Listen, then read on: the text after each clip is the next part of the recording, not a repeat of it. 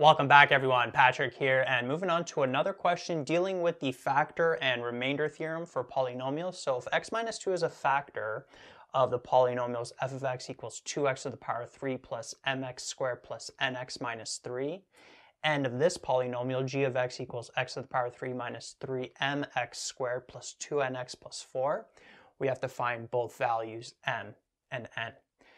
So notice that we're told x minus 2, this is a factor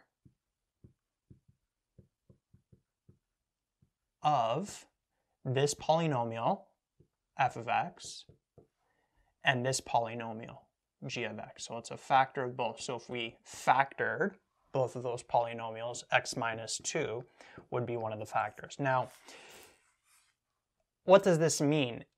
It also means that if we take those polynomials and divide them, so if we take f of x, and let's say we were to divide it by x minus 2, the remainder would equal 0, right, by the factor theorem, right? If something is a factor of a polynomial. If you divide that polynomial by that factor, the remainder is going to be 0. So same thing with g of x. We're told that x minus 2 is a factor of both, right? So the remainder would be 0 for g of x as well. Now, another way to get the remainder, if we're getting, just in general, if we take f of x and divide it by a factor x minus a, then the remainder is going to equal f of a. Right, and same thing if we take g of x and divide it by x minus a. The remainder is going to equal g of a.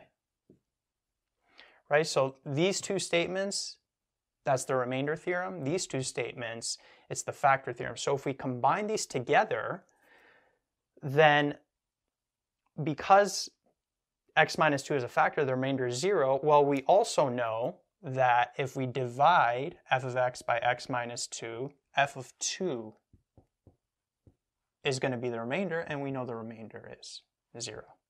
So we're combining both the remainder theorem and the factor theorem. Same thing with g of x, x minus 2 is a factor of g of x, so we know that the remainder, when we divide, is going to be 0, and then by the remainder theorem, we also know that the remainder is going to be g of 2, so we know g of 2 is going to equal 0. And so from those two statements right there, we can create two equations because we're solving for two unknowns, so we need two equations. So if we say f of 2 is equal to 0, well, what we can do is we can plug in 2 for the x values. So we'd have 2 to the power of 3, which is 8, times 2 would be 16, plus 2 to the power of 2 is 4, uh, times m it would be 4m, 2 times n would be 2n, minus 3 is equal to 0. So there's one equation, and then g of 2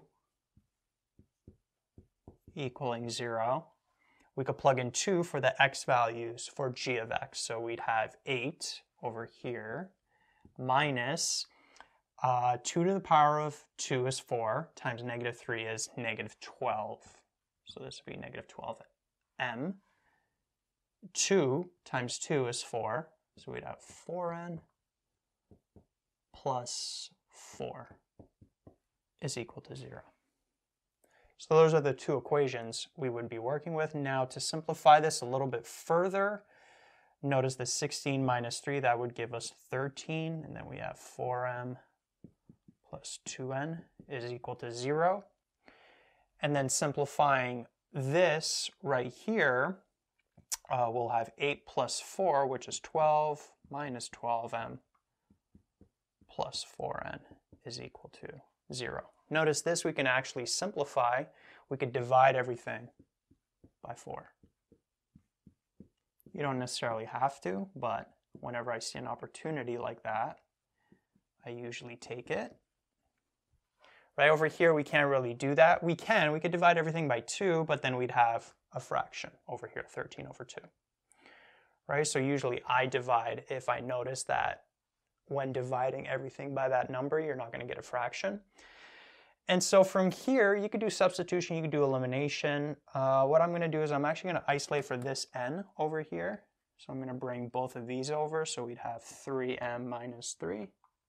And then I'm going to plug this for this n, so we'd have 13 plus 4m plus 2 bracket 3m minus 3 is equal to 0.